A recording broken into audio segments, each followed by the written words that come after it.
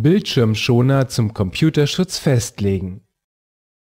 Wenn Sie auf Ihrem Arbeitsplatz in der Pause von Ihrem PC aufstehen, um beispielsweise eine Kaffee oder Raucherpause einzulegen, ist es ratsam, den PC zu sperren, damit Ihre Kollegen damit keinen Blödsinn anstellen können. Da man ja nicht immer an das Sperren des PCs denkt, gibt es eine einfache Methode, um dies automatisch geschehen zu lassen denn der Bildschirmschoner kann, wenn richtig eingestellt, auch dazu dienen, die Passwortabfrage zu erzwingen. Klicken Sie mit der rechten Maustaste auf den Desktop und wählen Sie Anpassen. Öffnen Sie die Bildschirmschoner-Einstellungen, wählen Sie einen Bildschirmschoner Ihrer Wahl aus, geben Sie eine Wartezeit an und aktivieren Sie das Häkchen bei Anmeldeseite bei Reaktivierung Sobald nun der Bildschirmschoner aktiv wird, ist Ihr Computer mit dem Passwort geschützt und wird erst wieder aktiv, wenn das richtige Passwort eingegeben wurde